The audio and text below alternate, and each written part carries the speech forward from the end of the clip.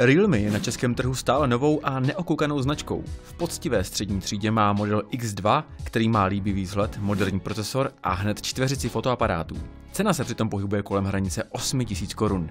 Mají se novinky bát o střílení hráči z řad konkurentů? Na to se pokusí odpovědět právě začínající recenze na mobilenet.cz.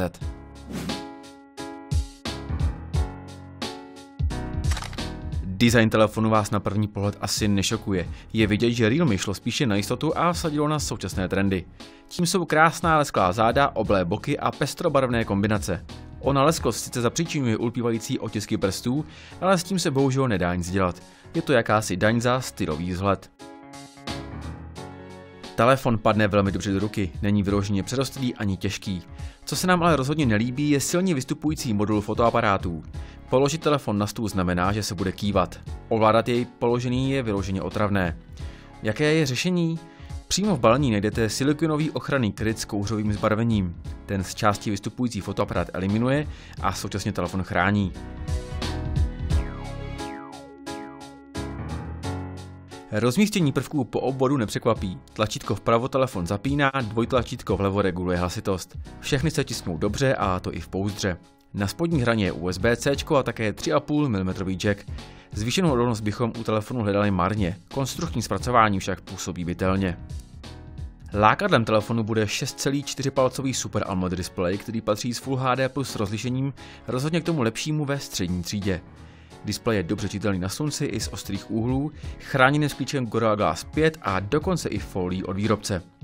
Škoda je, že AMOLED panel není využit pro informování o zmeškaných událostech a to rozhodně nijak. Chybí i informační dioda. Přímo do displeje je integrována čtyřka otisků prstů. Ta je spíše průměrná a ačkoliv dokáže prst rozpoznat rychle, občas se může stát, že ji naopak nerozpozná. Zvukově je telefon naprostou klasikou. Hlasitý reproduktor na spodní hraně plní funkci spolehlivě, na nějaký velký poslech hudby ale určený není. Výkonová stránka bude stačit i náročnějším uživatelům. Realme model X2 osadil procesorem Snapdragon 730G a 8 GB operační pamětí. Můžete si být jistí, že i náročné hry poběží na maximální detaily. Nouzi nebudete mít ani o úložní prostor, který nabízí 128 GB. Kdyby i to bylo málo, nechybí slot pro paměťovku. Jejím umístěním navíc nepřijdete o možnost využívat dvě nanoSIM karty. Sluší se v souvislosti s připojením vzpomenout, že tomuto Realme již nechybí podpora NFC. Realme nepodceňuje ani baterii a kapacita 4000 mAh je slušná. Telefon bez mrknutí oka vydrží celý dlouhý pracovní den a ještě si troufá na ten druhý. Ten ji zvládne s vypětím všech sil a možná menším zatížením, platí však, že na dva dny bez nabíjení se lze pohodlně dostat. Prostředí bude slabinou telefonu. Smířit se musíte se starším Androidem 9.0 Pie a říjnovými bezpečnostními záplatami. Nad Androidem vidí nadstavba od výrobce, která mění vzhled ikonek a částečně nastavení. Například horní informační lišta vypadá tak trošku pouťově. Zorientovat se však lze rychle, napomáhá tomu i velice slušná optimalizace a případně také všudy přítomné vyhledávání. Vracíme se ke čtveřici fotoaparátů na zadní straně a bylo by pěkné si je představit. Hlavní snímač nic netají a chlubí se 64 megapixely. Zde je nutné připomenout, že standardně fotíte v nižším rozlišení. Kvalita hlavního snímače je velmi pěkná a pořizuje barevně věrné snímky, kdy kvalita klesá až v noci. Prostředí fotoaparátu je trošku komplikované a například přepnutí na druhý 8 megapixelový fotoaparát, který fotí ultra širokouhle, není na první pohled patrné. Očekávali byste, že například zmáčknete víckrát ikonku s možností přiblížení. Zde musíme zdůraznit, že ani dvojnásobné, ani pětinásobné přiblížení není nic speciálního. Jde totiž o digitální zoom. Vraťme se ale k ultraširokouhlému snímači. Jeho výsledky jsou pouze průměrné, svědčí mu co nejvíce světla, jinak je výsledný snímek plný šumu. Nakonec zde máme dva 2 megapixelové fotoaparáty. První je specialistou na makro, snímky dokáže pořídit už od 4 cm, ale trošku trpí na to nízké rozlišení. Druhý slouží pro práci s hloubkou ostrosti. Poslední, v pořadí pátý fotoaparát na těle telefonu, je v kapkovitém výřezu displeje. Má 32 megapixelů a selfie dělá velmi slušné kvality.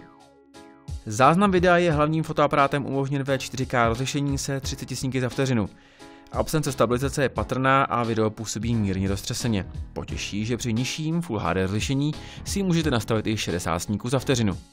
Realme X2 je poctivým telefonem střední třídy, který se snaží uživateli za 8000 korun přinést maximum.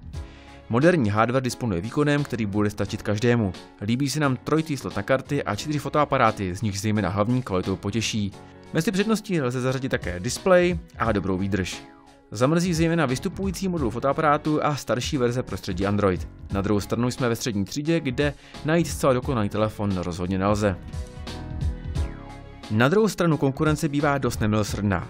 Důkazem budíš zejména Xiaomi Mi 9T Pro, které má výkonnější procesor a kvalitnější fotoaparáty. Dražší je přitom jen o několik set korun. Naopak ušetřit můžete koupit nového TCL Plex, který má o něco slabší procesor a horší displej, ale schopnější tečku umístěnou na zadní straně a na místo výřezu jen malý průstřel.